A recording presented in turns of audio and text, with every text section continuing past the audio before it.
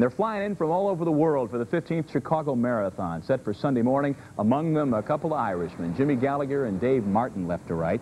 Jimmy's blind, and Dave's his guide. They're tethered together by a small piece of rope, and that's how they'll run for 26 miles plus. Gallagher tells Howard Sudbury this is his 27th marathon. Very excited indeed, Howard. It'll be a tremendous uh, occasion, great atmosphere, great excitement, great buzz. And even though I can't see what's going on around me, I still feel that I have a very clear picture in my mind of my surroundings, the people, the activity, the movement.